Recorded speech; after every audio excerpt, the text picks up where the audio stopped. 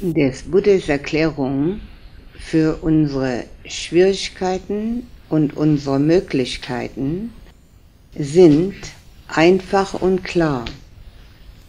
Man muss sie wissen, man muss sich erinnern, man muss sie praktizieren und dann noch einmal rekapitulieren. Das heißt, das erste ist also Information. Und das alles, was man bekommen kann. Alles andere muss man selber machen. Aber ohne diese Information geht es im Allgemeinen nicht. Spirituelle Genies werden sehr selten geboren. Und diese Information, die uns die großen Meister, so wie der Buddha und Jesus hinterlassen haben, wenn wir uns die einmal wirklich so merken, dass sie ein Teil unseres Gedankenguts sind, dann haben wir eine Möglichkeit. Wenn sie, kein, wenn sie nicht ein Teil unseres Gedankenguts werden, sondern wir immer nur bei den Dingen bleiben, die auf dem Marktplatz geschehen, die also zum Überleben nötig sind, dann werden wir nie den Weg heraus aus den menschlichen Schwierigkeiten finden. Wir werden zwar momentane Annehmlichkeiten erleben, und das ist auch gut so, aber den Weg heraus werden wir nie kennenlernen. Das heißt also, wir brauchen Information. Information von dem Buddha über die äh, Richtlinien, die er uns gegeben hat, ist sehr reichhaltig. Wir haben 17.500 Lehrreden und sie handeln sich immer wieder um drei Dinge. Auf Pali, Sila, Samadhi und Panya. Tugend, Konzentration und Weisheit. Aber man muss auch wissen, wie. Alle drei. Und der Buddha hat sie von allen Seiten beleuchtet. Immer so passend für die Audienz, die er gerade hatte. Von vielen verschiedenen Richtungen.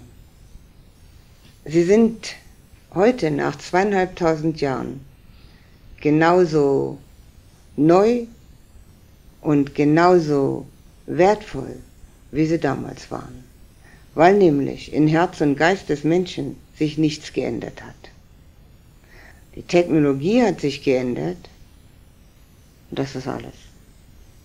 Alles andere ist genau dasselbe geblieben. Im Gegenteil, wir sind in einem Zeitalter der Technologie, wo das spirituelle Leben immer mehr und mehr in Vergessenheit gerät. Es gibt zwar immer wieder hier und dort ein Aufflackern, aber die Tiefe der Spiritualität, der Religiosität ist immer mehr in Vergessenheit geraten. Wenn wir also zu den Menschen gehören, die dieses Aufflackern zu einer Flamme bringen wollen, so brauchen wir dafür den Eintritt. Wir müssen wissen, wie hineinzukommen. Denn das, was die Welt um uns herum tut, ist genau das Gegenteil. Das, was die Welt um uns herum denkt, ist genau das Gegenteil. Die Welt um uns herum, die Menschen, zu denen wir genauso gehören, haben ein Interesse.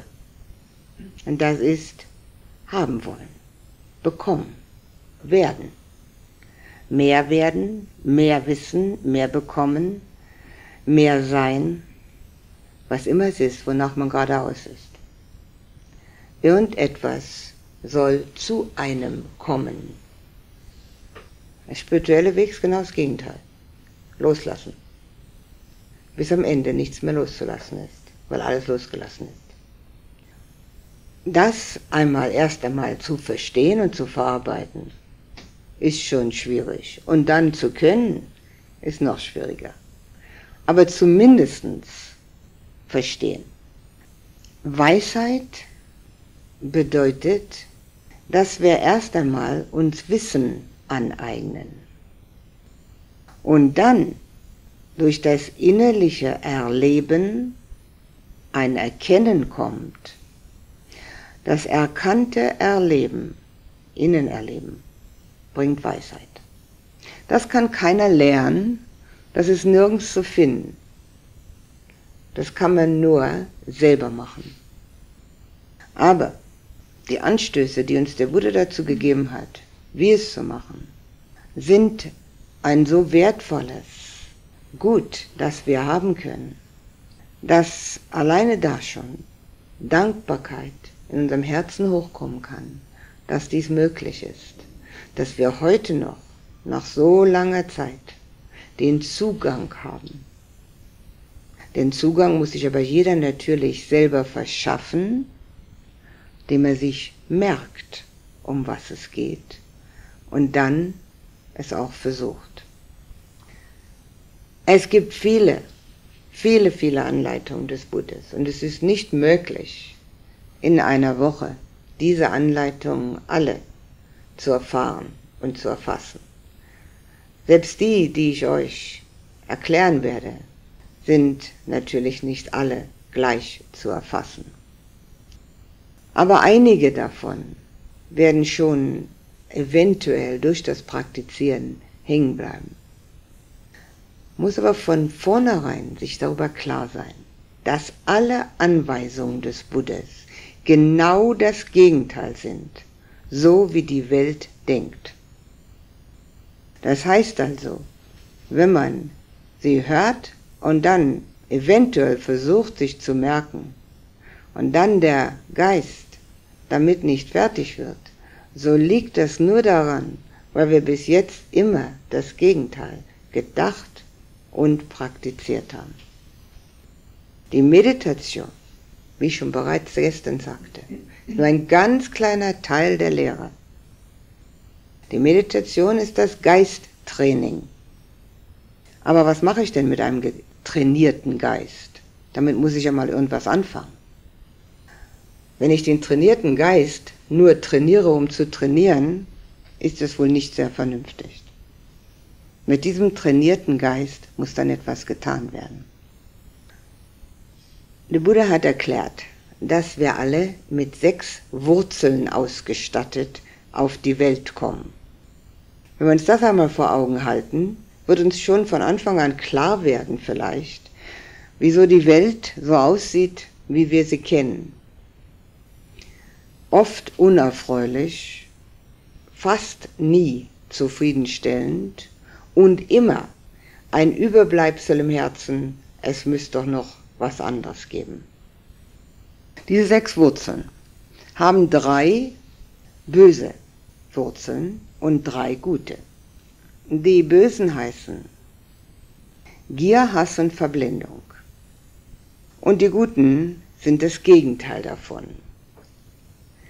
In Pali, Lopadosa Moha, heißen sie einfach nicht Gier, nicht Hass, nicht Verblendung. Da wird einfach ein A davor gemacht. Und dieses A davor ist die Nicht-Silbe. Aber wir können dafür noch andere Worte finden, um es klarer zu erkennen. Und das Gegenteil davon ist natürlich die Freigebigkeit, die Großzügigkeit, die Gebefreudigkeit die Liebe und die Weisheit.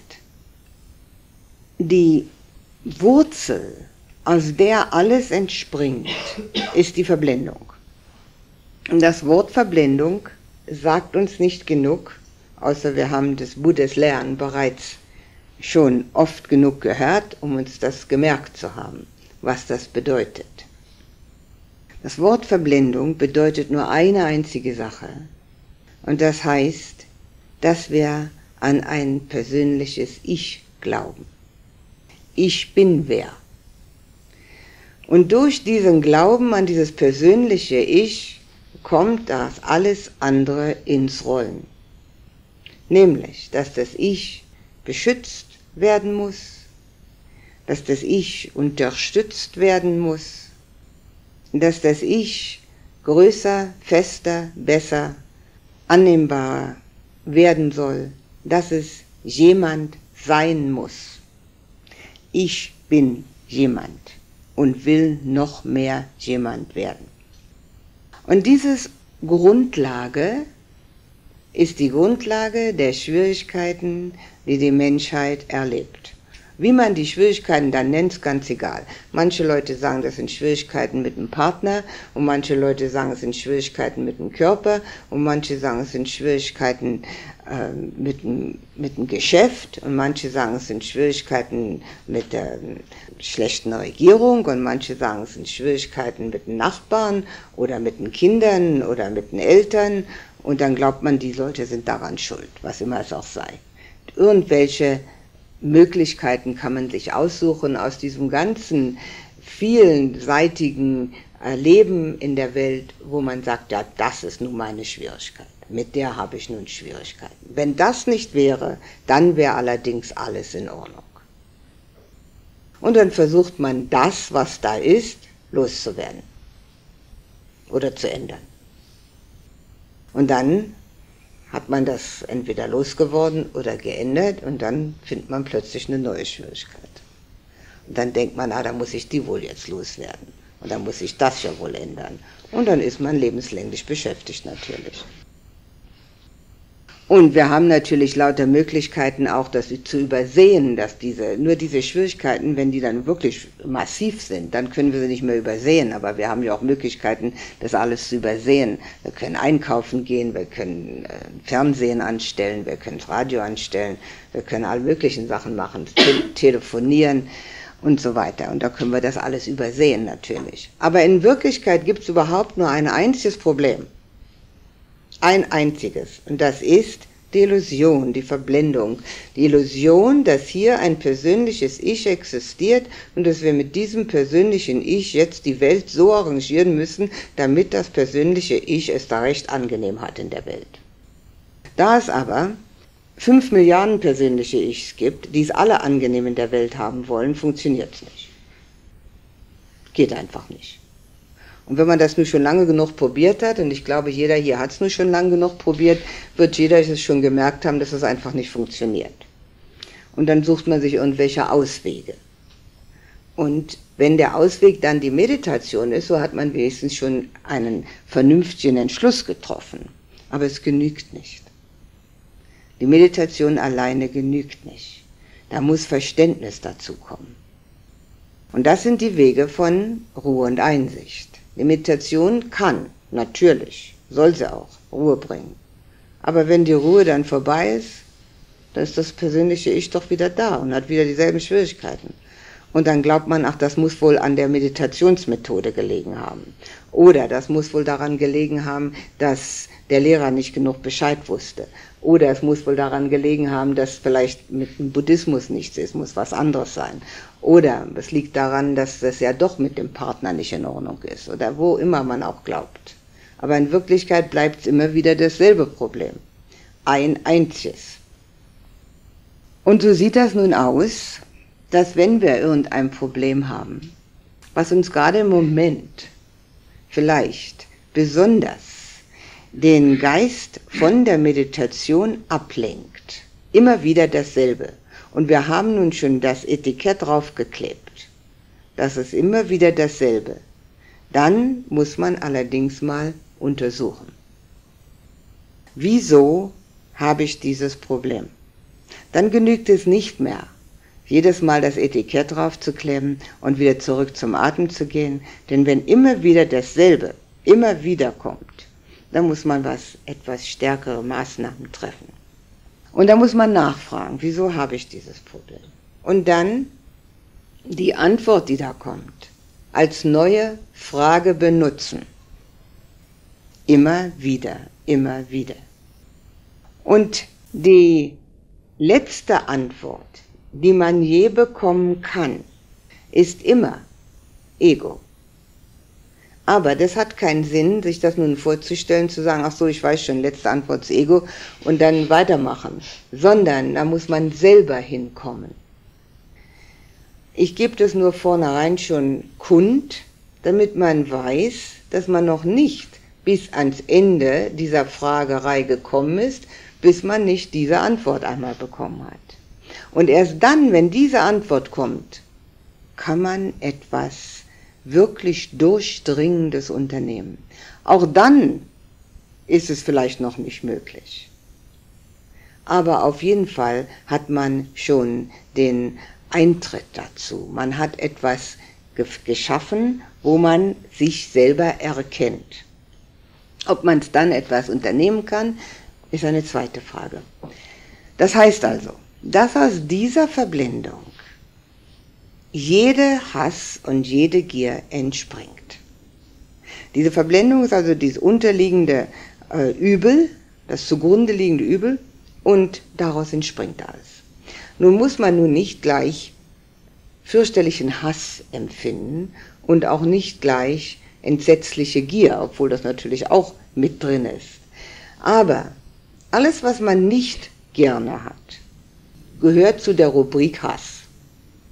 Das kann Ablehnung sein, das kann Widerwillen sein, das kann irritiert sein, das kann ärgerlich werden sein, das kann ähm, ängstlich werden sein. Das, die Furcht gehört auch dazu. Alles, was irgendwelche negativen Auslöser bringt, das gehört zu der Rubrik. Und die Rubrik Gier, die gehört, das dazu gehört alles, was man haben will. Ist ganz einfach. Aber da wir so entsetzlich viel haben wollen und so entsetzlich viel ablehnen, muss man erstmal versuchen, überhaupt die Achtsamkeit so weit zu bekommen, dass es uns klar wird, was da eigentlich in uns vorgeht. Und das ist natürlich gerade in einem Meditationskurs so wie diesem besonders günstig, weil wir uns beobachten können. Und dazu kommt dann die zweite Grundlage der Achtsamkeit. Die erste, habe ich gestern Abend erklärt, ist der Körper. Und die zweite sind die Gefühle. Also wir können, wenn es angebracht ist, von der Grundlage der Achtsamkeit des Körpers zu der zweiten übergehen und auch die benutzen. Wir müssen sowieso alle vier benutzen, aber nicht alles auf einmal, sondern immer gerade die, die angebracht ist. Und zwar außerhalb der Meditation, aber auch wenn nötig, innerhalb der Meditation, wenn der Geist so abschweift, dass überhaupt keine Konzentration zustande kommt, dann kann man es auch während der Meditation einmal überprüfen. Was ist es denn eigentlich, was gefühlsmäßig in mir vorgeht? Das, was wir ablehnen und das, was wir haben wollen, beschäftigt uns das ganze Leben lang. Auch das gilt zu überprüfen. Und hier im Kleinen, in, der, in dem Kurs, gilt zu überprüfen, ob wir damit beschäftigt sind. Es sind nicht große Dinge, die man haben will und die man ablehnt. Wenn man das hat, dann merkt man das schon. Aber es ist immer zu irgendwas. Hat man gesessen, möchte man aufstehen. Ist man aufgestanden, möchte man sich wieder hinsetzen. Hat man lang genug gesessen, möchte man sich hinlegen. Hat man sich hingelegt, möchte man spazieren gehen. Hat man gegessen, möchte man was trinken. Hat man nichts gegessen, sucht man was zum Essen. Hat man, ist einem zu warm, will man sich ausziehen. Hat man sich ausgezogen, will man sich wieder anziehen. Es ist ständig was los. Immer ist irgendetwas. Irgendwas passt nicht. Ganz ruhig den Geist halten. Ganz zufrieden. Sehr schwierig. Ist allerdings möglich in der Meditation. Wenn wir es aber nicht weiterführen können, außerhalb der Meditation, durch Einsicht, wird es uns auch durch die Meditation nicht gelingen, den inneren Frieden zu erlangen.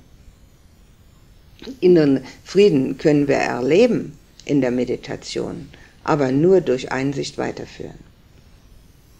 Die Gegenteile von diesen drei Wurzeln, mit denen wir auf die Welt kommen, sind natürlich auch in uns schon vorhanden. Denn wenn sie nicht in uns vorhanden wären, könnten wir ja das Gegenteil nicht in uns entwickeln. Es ist also als Wurzel vorhanden. Nur ist uns wahrscheinlich, den meisten Menschen, überhaupt nicht klar, dass es drei Wurzeln gibt, die sind auszumerzen und drei Wurzeln gibt, die zu entwickeln sind. Und dieses Entwickeln uns ständig auffordert, etwas zu tun. mit unseren eigenen Gefühlen und Reaktionen. Unser ganzes Leben ist sozusagen ein Meditationskurs. Auch wenn wir nicht die ganze Zeit meditieren, so ist es eine Aufforderung, das Innenleben zu reinigen und zu läutern. Die Meditation natürlich hilft uns dabei, aber nur begrenzt. Etwas bleibt übrig, aber nicht alles kann dadurch geläutert werden. Wir müssen unser tägliches Leben zur Läuterung verwenden. Wenn uns das nicht gefällt oder gelingt, gelingt uns die Meditation auch nicht. Wir haben nicht zwei Geistesbeschaffenheiten. Eine, die meditieren kann und eine, die ärgerlich werden kann und die dann zusammengepasst werden irgendwie. Wir haben nur eine, einen einzigen Geist. Das ist derselbe, der sich in der Welt darum kümmert, etwas zu bekommen und der dann auf Meditationskissen sich darum kümmern soll, alles loszulassen. Schwieriger Zustand. also wir müssen diesen Geist irgendwie einmal unterstützen, dass er, wenn er wirklich die Meditation von Interesse ist, dann müssen wir ihn auch außerhalb der Meditation diese Unterstützung geben, dass er sieht durch Achtsamkeit, wo das Loslassen im täglichen Leben nötig ist. Diese drei guten Wurzeln, die wir also haben, Gegenteil von Hass, Liebe, ein Gegenteil von Gier, das Geben wollen und das Gegenteil von der Verblendung, die Weisheit, sind auch bei uns vorhanden.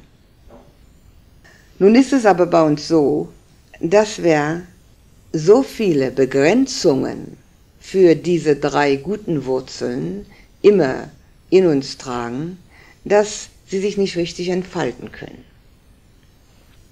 Das Buddhas Wort für Liebe ist Metta, M-E-T-T-A, was immer mit liebender Güte übersetzt wird.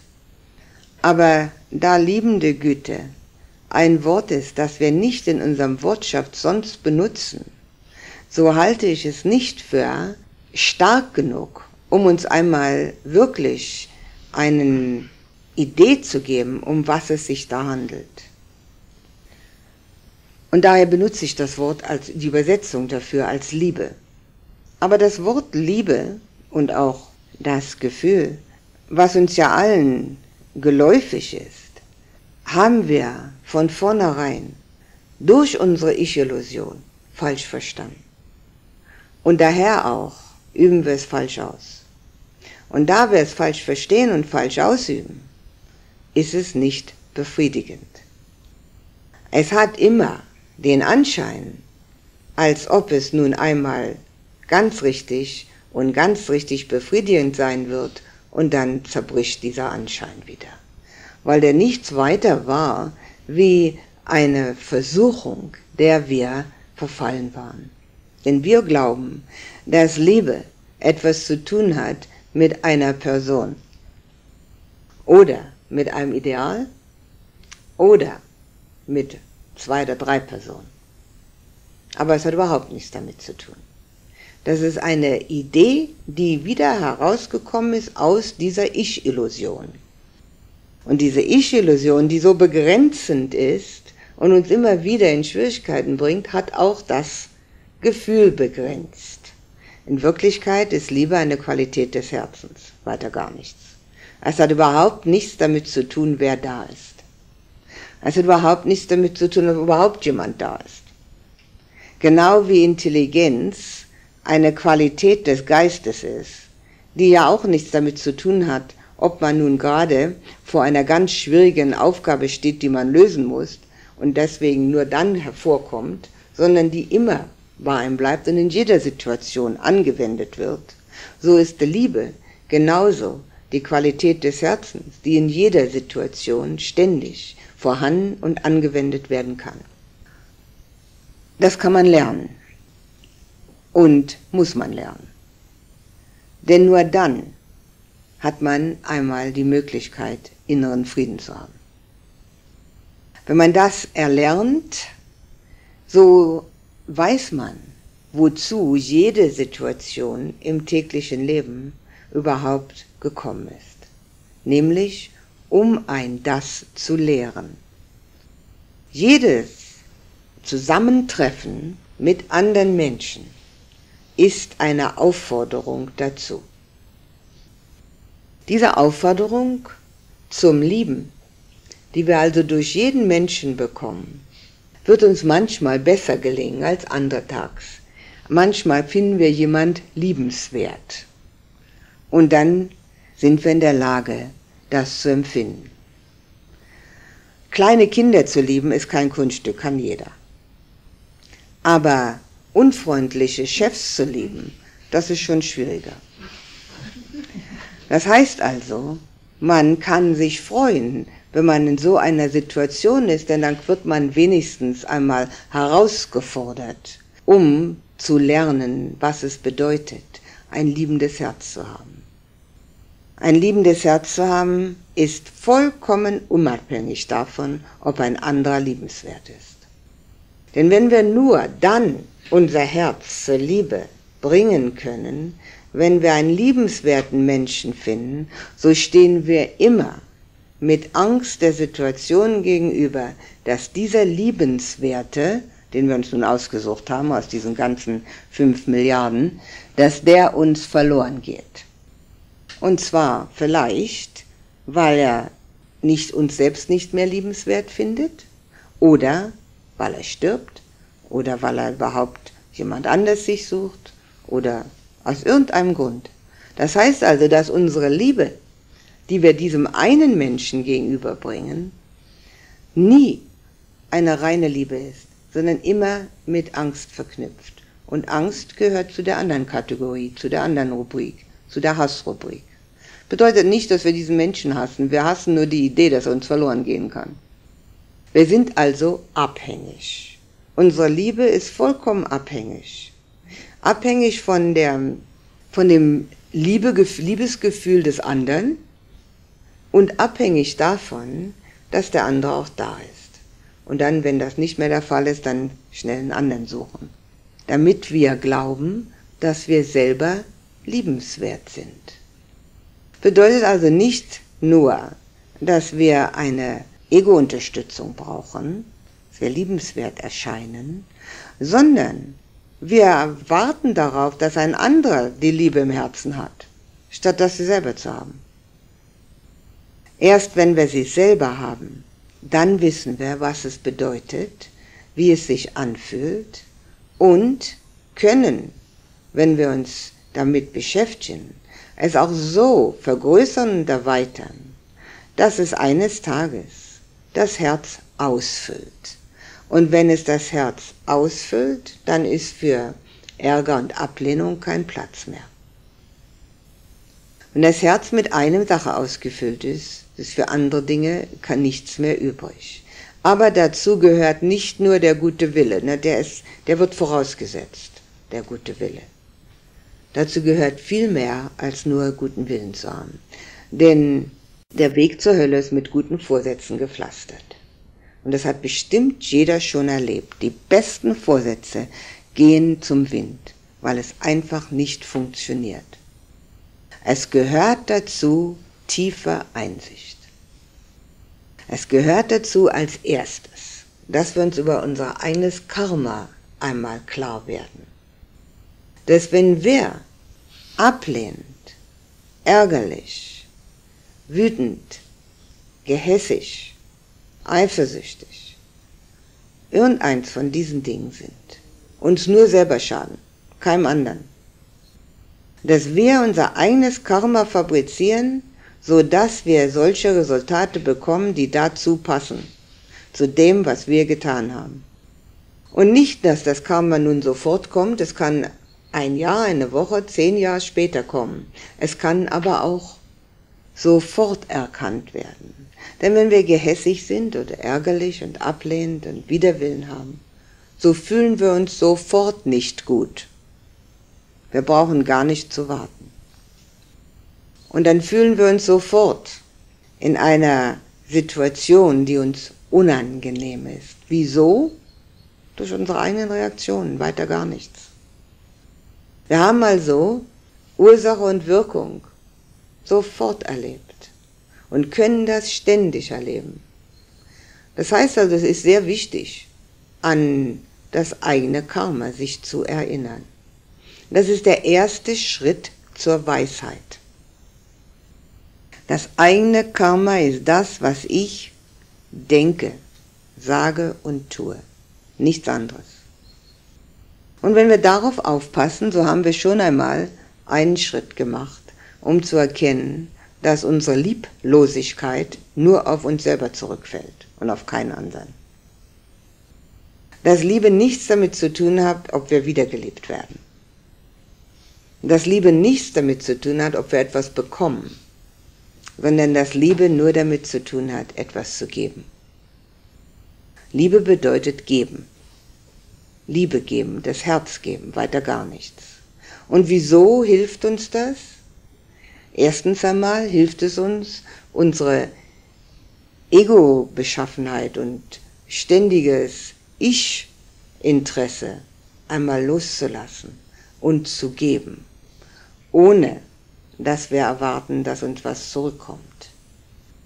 Und zweitens einmal ist es die Möglichkeit, das Herz zur Ruhe zu bringen, das nicht immer negativ reagieren kann, sondern jetzt lernt positiv zu reagieren. Der erste Schritt der Einsicht ist das Karma. Es ist mein eigenes Karma, was ich da mache. Der zweite Schritt ist, dass es überhaupt nichts damit zu tun hat, wie andere Leute sind. Das ist deren Karma. Wenn jemand anders unangenehm ist, unverständig, lieblos, das ist doch dessen Menschenkarma, nicht meins. Dass ich darauf reagiere, ist mein Unverständnis. Dass ich darauf reagiere, ist mein nicht trainierter Geist, nicht des anderen. Der andere ist nur der Anlasser, weiter gar nichts. Das gehört dazu, zu wissen, dass es nur um mich geht, wenn ich Liebe empfinden will. Wenn wir das einmal, diese beiden Dinge, schon einmal verstand, verstanden haben, dann müssen wir auch noch mehr uns damit beschäftigen, dass die ganze Universum eine Existenz ist. Dass es zwar eine optische Illusion ist, dass wir jeder separat sitzen, jeder ein separater Mensch ist, aber das ist nur optisch, weiter gar nichts. Schon vor Jahrzehnten haben unsere Wissenschaftler festgestellt, dass es nicht einen einzigen soliden Bauklotz im ganzen Universum gibt. Es gibt nichts weiter wie Energieteilchen, die ständig zusammenkommen, auseinanderfallen. Und hätten unsere Wissenschaftler zu der Zeit sich selber mit einbezogen in dieses Wissen, dann wären sie längst erleuchtet. Aber sie haben nur hingeschaut. Und dasselbe machen wir. Wir glauben es ihnen, weil sie sind ja sehr kluge Leute, und schauen hin. Aber wir glauben nicht, dass wir das sind. Wir glauben immer noch, wir sind ein solider Bauklotz, der Ich heißt.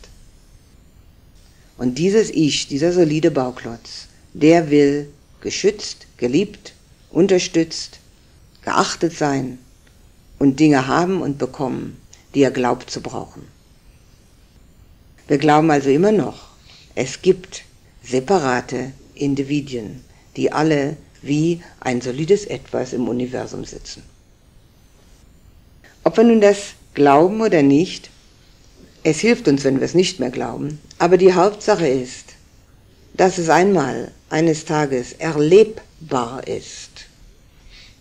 Dass es erlebbar ist, dass es überhaupt kein separates Individuum gibt. Das ist meditativ erlebbar. Und wenn wir zu dem Punkt kommen, wo wir das meditativ erleben, so ist es natürlich viel einfacher. Liebe für einen anderen zu empfinden, denn wer ist denn der andere? Ist ja niemand anders, ist ja alles man selber. Zu diesem Punkt zu kommen, muss allerdings die Meditation schon so weit fortgeschritten sein, dass man sich nicht mehr mit der Methode rumzuschlagen braucht. Und das ist auch den meisten Menschen, die bei der Meditation dabei bleiben und Anleitung bekommen, möglich. Es ist sehr selten, dass man einen Menschen findet, der nicht meditieren kann. Die meisten Menschen können es nicht, weil sie es nicht tun. Und so ist es ja wohl mit allen Dingen. Es ist eine Fähigkeit, die erlernbar ist. Und wenn wir durch diese erlernbare Fähigkeit das Ganze erkennen und nicht nur dieses separate Ich, haben wir einen ganz anderen Zugang zu den guten Wurzeln in uns, zu diesem Gefühl des Miteinander Verbundenseins. Um die Liebe zu praktizieren, gibt es erstens einmal die liebende Güte-Meditation, die wir hier jeden Abend machen werden.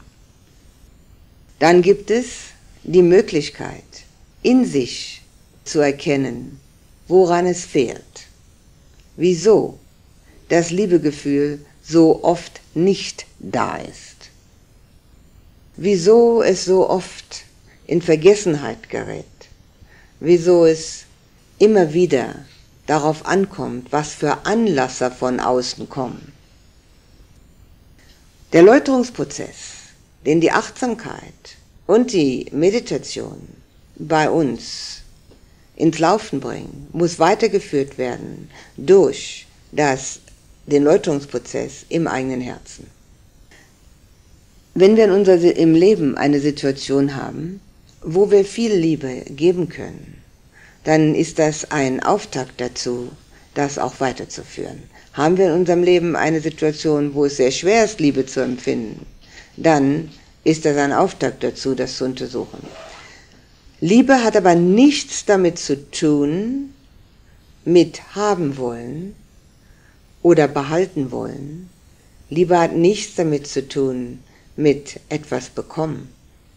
Liebe ist reines Geben aus der Fülle des eigenen Herzens. Jeder hat sie. Das Einzige, was wir falsch machen, ist, dass wir das Herz mit anderen Dingen anfüllen.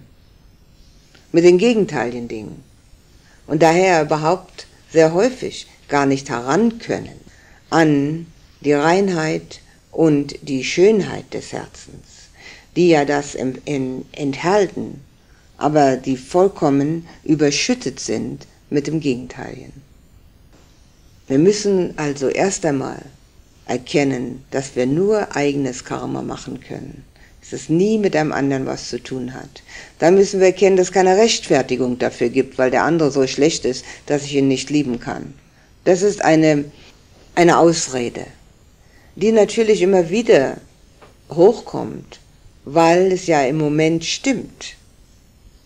Im Moment stimmt es ja, dass ich den anderen nicht lieben kann, weil er so unangenehm ist.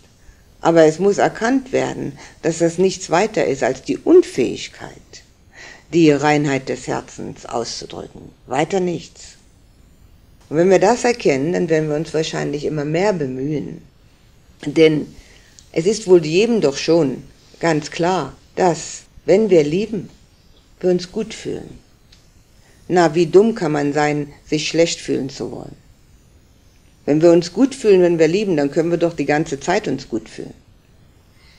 Da brauchen wir doch nicht aufzuhören damit. Aber im Prinzip wartet immer jemand, jeder drauf, dass da jemand ist, der einem dazu verhilft, sich gut zu fühlen. Da aber jeder darauf wartet, funktioniert das nicht. Wir können uns immer gut fühlen. Wir haben alle Fähigkeiten in uns, uns immer gut zu fühlen, innerlich.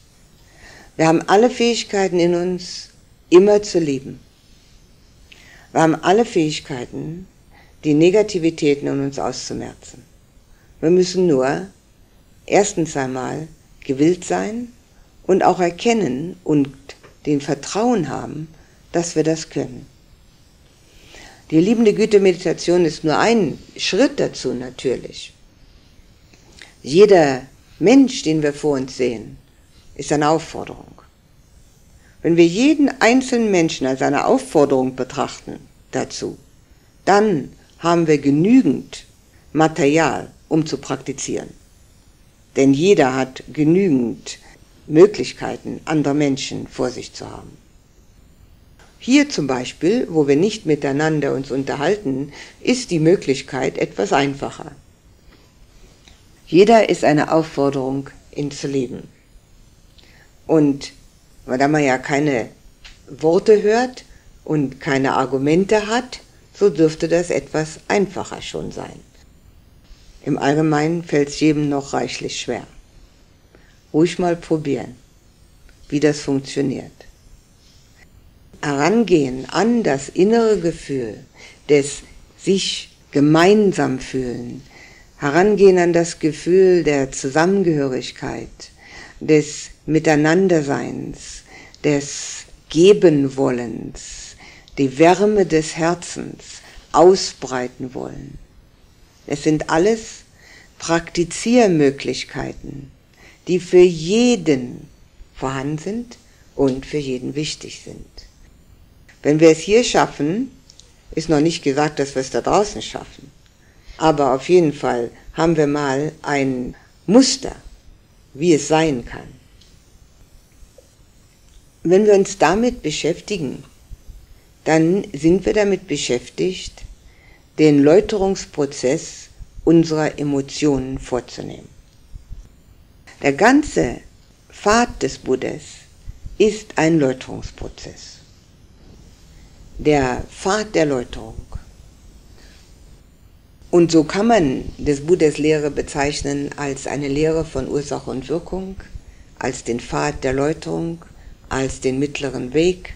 Es gibt viele Namen für des Buddhas Lehre. Alle sind zutreffend. Die Läuterung, die die Meditation vornimmt, automatisch, kann nur stattfinden, wenn wir sie auch unterstützen. Und da wie ich bereits sagte, kommt hier in diesem Fall die zweite Grundlage der Achtsamkeit ins Spiel, unsere eigenen Gefühle zu erkennen. Sind die Gefühle jetzt negativ? Nicht nach einem Grund dafür suchen. Ich denke jetzt, ich fühle jetzt negativ, ich fühle mich jetzt ärgerlich oder ablehnend, weil, weil es zu schwierig ist zu sitzen, weil es zu warm ist, weil es zu kalt ist, weil es dies ist, weil es jenes ist. Das nutzt überhaupt nichts. So spielt die Welt. Es gibt nur eine Art und Weise, damit umzugehen. Und das ist das Ersetzen. Sofort ersetzen. Nicht glauben, dass man nun recht hat, weil. Nicht einen lange, langen Aufsatz schreiben, wieso alles schlecht ist und ich daher also natürlich berechtigt bin, negativ dafür zu empfinden, sondern ersetzen. Und das ist die Hauptsache des Pfades der Läuterung. Genau, das habe ich bereits erwähnt gestern, genau wie wir die störenden Gedanken bei der Meditation so bald wie möglich mit dem Meditationsobjekt ersetzen und daher diese Aktion des Ersetzens erlernen, das ist eine Geistesaktion, genauso müssen wir dieselbe Aktion vornehmen außerhalb der Meditation. Und zwar alles, was negativ ist, mit dem Positiven ersetzen. Wenn man sich also jetzt irgendein negatives Gefühl kennenlernt in sich selber, so sofort es mit etwas ganz anderem ersetzen, was nicht mehr negativ ist, so schnell wie möglich. Denn wir machen immer tiefere und tiefere Furchen in Herz und Geist mit unseren Negativitäten. Und am Ende haben wir sie so eingefurcht, dass wir schon gar nicht mehr anders können. Und es gibt den kleinsten, geringsten Anlass, und wir sind schon negativ. Es braucht gar nicht viel passieren. Haben wir das noch nicht eingefurcht so, dann ist es viel einfacher, das Ersetzen vorzunehmen. Jeder hat die Möglichkeit, das zu lernen, jeder hat die Fähigkeit, das auszuüben. Wenn also irgendein Ärger hochkommt, ein Gefühl des Ärgers oder ein Gefühl der Ablehnung oder ein Gefühl der Angst oder ein Gefühl des äh, Irritiertseins. Sofort erkennen, das ist nicht gut für mich selber. Nicht versuchen, den Anlasser auszumerzen. Die Anlasser dafür auf der Welt sind so zahlreich, dass wir nie zum Ende kommen werden. Wenn wir jeden Anlasser, der uns zum Irritiertsein ähm, bringt, ausmerzen wollen, da können wir nie fertig werden. Und davon sind wir ja auch immer ständig beschäftigt mit solchen Dingen. Sondern erkennen, dass ich mir selber nur wehtue, wenn ich etwas Negatives in mir rumtrage. Und je länger ich es in mir rumtrage, desto mehr tue ich mir selber weh, natürlich. Es ist wie ein Dorn, den man sich in den Finger sticht. Je länger der da drin bleibt, desto mehr kann es leicht zum Eitern kommen. Je länger man das da drin in sich drin lässt, desto schlimmer wird's. Das heißt also, sofort an etwas ganz anderes sich erinnern. An die Dankbarkeit, die man haben kann dafür, dass die Lehre des Buddhas einem zugänglich ist. An die Freude darüber, dass man meditieren kann.